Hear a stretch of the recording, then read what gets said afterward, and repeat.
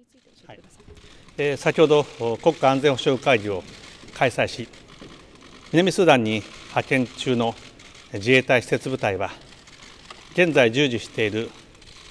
道路整備が終わる5月末を目途にその活動を終了することを決定いたしました南スーダン PKO への自衛隊部隊の派遣は今年1月に5年を迎え自衛隊の施設部隊としてはですねその派遣としては過去最長となります。えーその間首都ジュバと各地を結ぶ幹線道路の整備など独立間もない南スーダンの国づくりに大きな貢献を果たしてまいりました。南スーダンの国づくりが新たな段階を迎える中自衛隊が担当しているジュバにおける施設整備は一定の区切りをつけることができると判断いたしました。この5年にわたる自衛隊の活動は過去最大規模の実績を積み重ねてまいりました。この日本政府の方針は事前に南スーダンそして国連にお伝えをしております。えキール大統領はこれまでの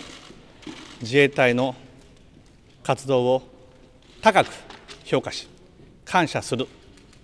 と言葉を伝えてくれました。我々はえこれからも南スーダン PKO 司令部への自衛隊要員の派遣は継続いたしますそして人道支援を充実するなど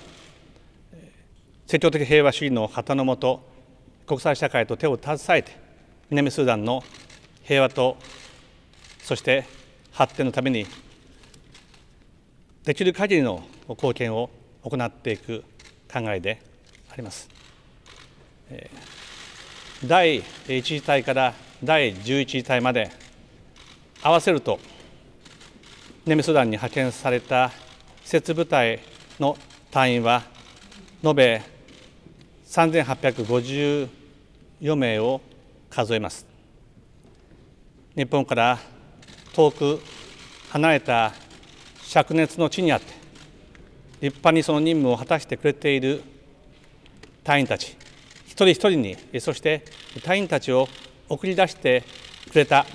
家族の皆様に自衛隊の最高指揮官として心から